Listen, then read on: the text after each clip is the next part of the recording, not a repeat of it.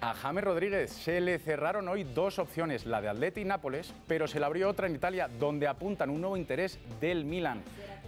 Puede ser. Mientras espera para definir su futuro, le mandó un mensaje a Johan Salas, el niño que conmovió al país este fin de semana. Johan jamás imaginó que un gesto tan sublime como el de desdoblarse por el llanto hacia su abuelita en plena entrevista iba a resonar en el corazón de James Rodríguez. Hasta Madrid se escucharon sus lágrimas. El mundo digital enloqueció ante el evidente amor demostrado hacia el ser que más ama y por el que no hicieron falta más palabras. ¿A quién le quiere dedicar el gol? Hágale tranquilo. Primero toda mi abuela, que es la que me apoya.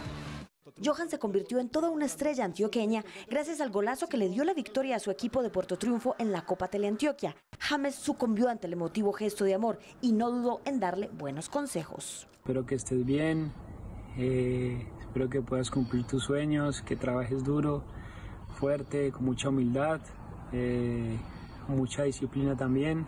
Espero que Dios te pueda dar la bendición de triunfar eh, y le puedas dar muchas alegrías a tu familia, a tu abuelita. Ya James, por ese video que me mandó, me siento muy orgulloso, feliz y que gracias por esas bellas palabras que me dijo.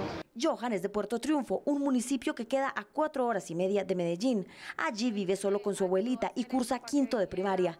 A sus 13 años ya tiene el camino del éxito trazado y una mano de la cual sostenerse cada vez que se pare en una cancha y quiera seguirle sus pasos, o mejor dicho, sus golazos. Y ese es sin duda el gran James.